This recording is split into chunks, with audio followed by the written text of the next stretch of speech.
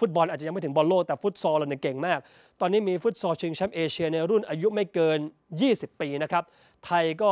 ได้ชิงที่3นะฮะ โดยเจอกับทางด้านอุซเบย์ครับ ไทยนะครับมาในชุดดำครับ แค่นาทีแรกก็นำก่อนนะครับมูฮัมหมัดอุสมานมูซาครับ 1-0 นะครับ ต้องบอกว่าฟุตซอลไทยนี่สุดยอดจริง ๆ นนท์วิรศักดิ์ซัดด้วยซ้าย 2 ประตูต่อศูนย์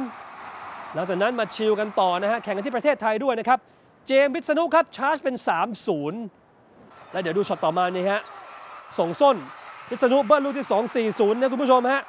ไทยครับถล่มทางด้านของอุซเบกิสถานไป 8 ประตูต่อหนึ่งนะครับ ก็สามารถคว้า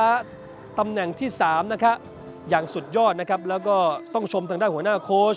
มิเกลโรดริโกเนี่ยแหละฮะคนที่เขากำลังนี่ ก็สุดยอดนะครับ เป็นการแข่งขันที่ฟุตบอลไทยควรจะ